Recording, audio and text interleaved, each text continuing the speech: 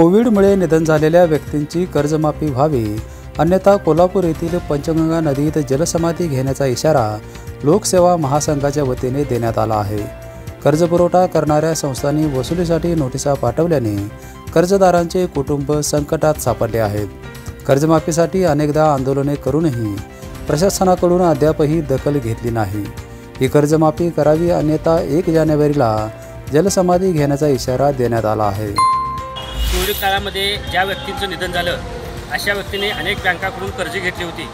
परंतु त्यांच्या मृत्यूनंतर त्यांच्या ज्या विधवा महिला आहेत पत्नी आहेत त्यांच्या अंगावर या कर्जाचा बोजा पडला आहे बऱ्याच लोकांनी या कर्जासाठी घर तारण दिलं आहे आणि या बँका जे घर तारण दिल्यामुळं जप्तीची कारवाई करत आहेत त्यामुळे या महिलांना त्यांच्या मुलांना रस्त्यावर येण्याची वेळ आली. यापूर्वी लोकसेवा महासंघ या सामाजिक संघटनेच्या वतीनं आम्ही अनेक आंदोलन केली. जिल्हाधिकारी कार्यालयावर मोर्चा काढला. पंचगंगा नदीमध्ये जलनिदर्शने केली. अनेक आंदोलने करूनसुद्धा या शासनानं अजिबात दखल घेतली नाही.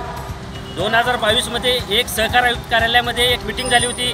त्या मिटिंगमध्ये यांनी संपूर्ण महाराष्ट्राच्या कर्जाची माहिती मागवली होती आणि ती माहिती गोळा करून घेतली परंतु त्यानंतर त्यांनी कोणतीही कारवाई केलेली नाही. तर कंटाळून आम्ही आता जल जलसमाधी आंदोलन करण्याचा निर्णय घेतला आहे पंचगंगा नदीमध्ये एक जानेवारी रोजी कोणत्याही क्षणी कुठल्याही जागेवरून आमच्या शेकडो महिलासह जलसमाधी नदीत उड्या मारून जलसमाधी करणार आहेत.